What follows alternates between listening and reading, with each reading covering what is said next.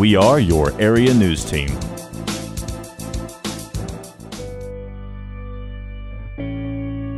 In Tenaha, Texas, the Tenaha Police Department are working on a project to benefit not only the citizens of Tenaha, but all those in Shelby County.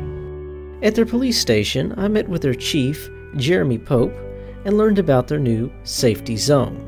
Now tell us, how did the idea of the safety zone come about? Safety Zone was created by me and Captain Hudnall. Uh, we got together and trying to discuss uh, new ideas and, and, things to be able to uh, offer our citizens here inside the city and in the county or, or individuals that are traveling through. So, Captain Hudnall, is this just for Tenaha?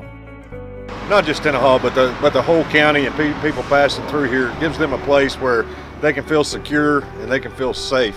Um, with today's society, there's so much things going on uh, myself and, and, Chief Pope wanted to implement something that, that would uh, better secure the safety of, uh, of everybody.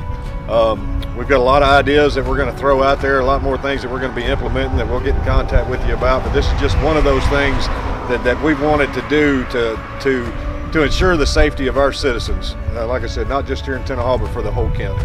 Uh, it was created to give uh, individuals a, a place where they can come and exchange, whether it's children for visitation, uh, online items that were bought, uh, somewhere that they could come and, and, feel safe and secure in doing those exchanges uh, where they're you know under camera and at a law enforcement facility where those things can be uh, done and they feel safe doing it.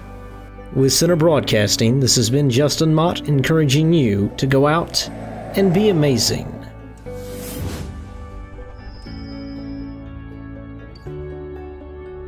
cbc-radio.com, keeping you connected wherever you go.